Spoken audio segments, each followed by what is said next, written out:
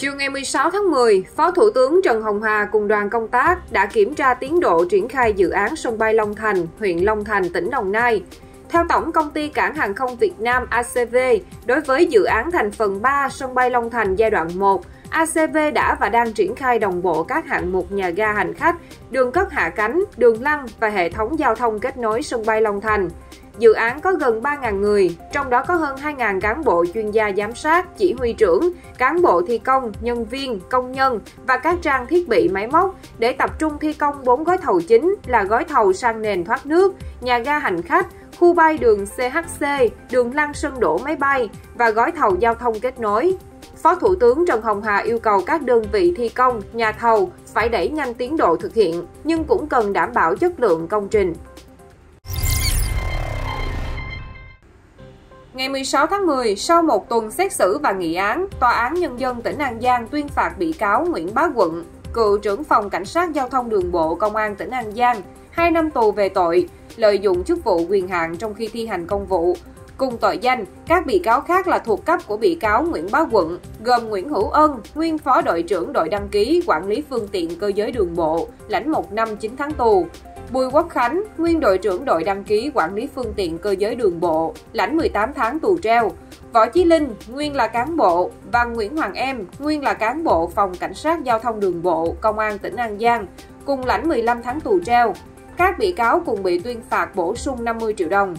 Theo cáo trạng, từ tháng 8 năm 2012 đến tháng 6 năm 2021, Nguyễn Bá Quận với vai trò là thủ trưởng đã chỉ đạo giao tài khoản quyền lãnh đạo cho 4 thuộc cấp là cấp dưới, can thiệp hệ thống cấp sai quy định tổng cộng 5.056 biển số xe, trong đó có nhiều biển số thuộc loại cực đẹp với dãy số cuối gồm 06666, 06660, 06869, 12345, 04567, 09899. Dù những người nhận biển số đẹp đều khai mình được cho không, không phải chi tiền, nhưng điều tra cho thấy có sự tham gia của một số đối tượng làm vai trò cò môi giới để thực hiện quy trình cấp biển số với mức phí từ 1 đến 50 triệu đồng một lần. Chiều ngày 16 tháng 10, Ủy ban Nhân dân huyện Bình Sơn, tỉnh Quảng Ngãi kiểm tra công tác ứng phó mưa lũ tại những vùng sung yếu, yêu cầu các địa phương khẩn trương triển khai công tác ứng phó mưa lớn. Huyện Bình Sơn là địa phương có lượng mưa lớn nhất tỉnh Quảng Ngãi. Lượng mưa đo được đến 15 giờ chiều nay tại trạm Bình Tân là 457 mm, Bình Khương 322 mm, Bình Mỹ 300 mm, Bình Trị 310 mm. Trước diễn biến mưa lớn, ông Ung Đình Hiền, Phó Chủ tịch Ủy ban Nhân dân huyện Bình Sơn, đã đi kiểm tra tại xã Bình Hiệp, Bình Long và Bình Minh. Tại xã Bình Hiệp, ông Hồ Văn Thái, Chủ tịch Ủy ban Nhân dân xã cho biết địa phương đã thực hiện các công tác 4 tại chỗ, 3 sẵn sàng và thông báo đến nhân dân địa phương ứng phó mưa lớn, đồng thời huy động lực lượng công an quân sự trực 24 trên 24.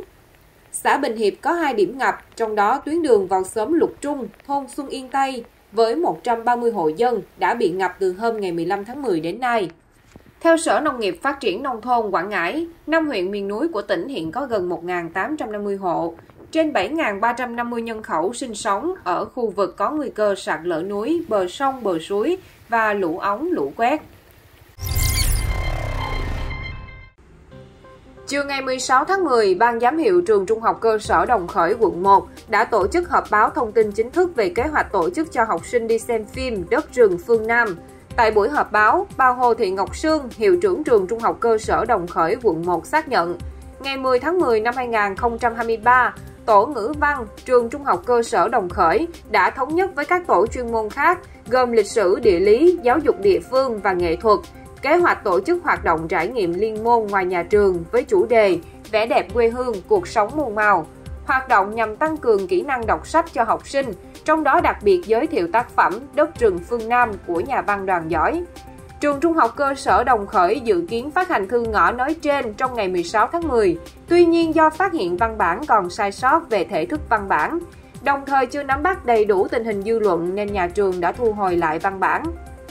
Nguyên nhân khiến thư ngõ được lan truyền trên mạng xã hội là do một số lớp chưa cập nhật thông tin thu hồi thư ngõ, dẫn đến việc thư ngõ được phát tán trên mạng xã hội. Bà Hồ Thị Ngọc Sương cho biết, Thay mặt ban giám hiệu trường trung học cơ sở Đồng Khởi, hiệu trưởng nhà trường xin nhận toàn bộ trách nhiệm về thiếu sót này. Bà Hồ Thị Ngọc Sương lý giải thêm, trước khi hoạt động trải nghiệm được tổ chức phải có sự đồng thuận của phụ huynh. Hiện nay, trường mới dừng ở việc phát hành thư ngõ, tuy nhiên đã thu hồi trong chiều ngày 16 tháng 10 để xin ý kiến phụ huynh. Nếu phụ huynh đồng thuận, hoạt động mới diễn ra.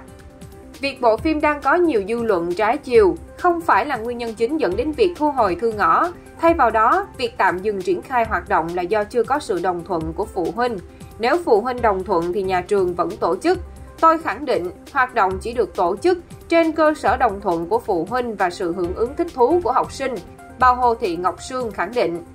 Đại diện nhà trường cho biết, Hoạt động đưa học sinh đi xem phim không nhằm mục đích giải trí mà muốn tạo cơ hội cho học sinh trải nghiệm phim ảnh để có sự so sánh giữa tác phẩm văn học khi được chuyển thể, để có cái nhìn đa dạng hơn về tiếp cận tác phẩm văn học. Liên quan vụ ngộ độc sữa ở tỉnh Tiền Giang, tối ngày 16 tháng 10, tiến sĩ bác sĩ Lê Quốc Hùng, trưởng khoa bệnh nhiệt đới Bệnh viện Chợ Rẫy cho biết,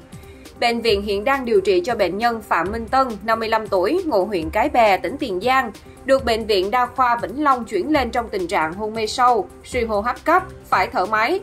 Bệnh nhân có bệnh sử phức tạp. Trong hai ngày 14 và ngày 15 tháng 10, gia đình đã có hai người. Mẹ là bà Phạm Thị Phấn, 85 tuổi, và em trai Phạm Văn Yên, 45 tuổi, tử vong sau khi sử dụng một loại sữa.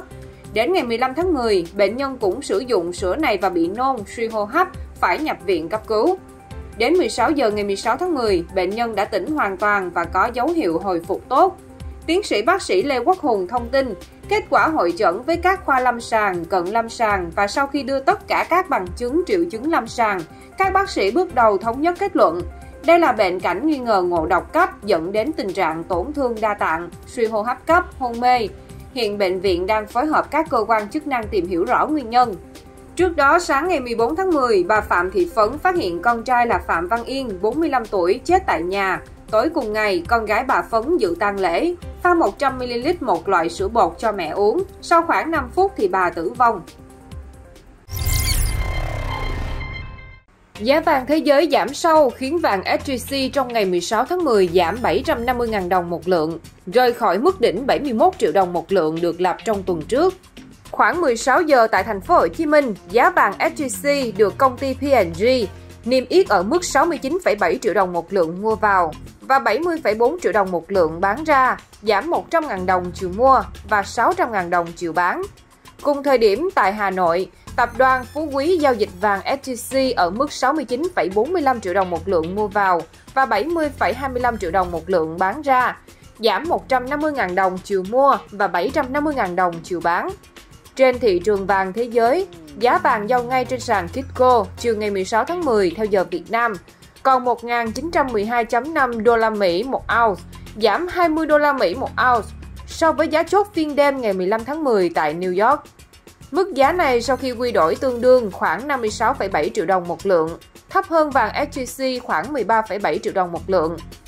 Giá vàng thế giới quay đầu giảm vì nhà đầu tư chốt lời chờ những diễn biến mới ở Trung Đông sau khi giá vàng đã tăng hơn 5% trong tuần trước khi xung đột chính trị nổ ra giữa lực lượng Hamas với Israel,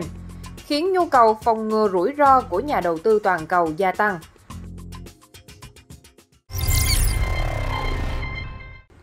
Cập nhật từ Trung tâm Dự báo Khí tượng Thủy văn Quốc gia đến chiều ngày 16 tháng 10, tâm vùng áp thấp ở vào khoảng 14,5 đến 15,5 độ Vĩ Bắc và 110,5 đến 111,5 độ Kinh Đông trên vùng biển phía tây nam quần đảo Hoàng Sa. Các đài dự báo khí tượng ở khu vực châu Á-Thái Bình Dương nhận định áp thấp này di chuyển khá chậm, chỉ 5 km một giờ, có xu hướng mạnh lên thành áp thấp nhiệt đới khi di chuyển theo hướng Tây Bắc, lướt dọc vùng biển ngoài khơi Trung Bộ. Do tác động trực tiếp của áp thấp nhiệt đới, khu vực Trung Trung Bộ sẽ có mưa to trở lại do lượng mây từ Biển Đông đưa vào đất liền.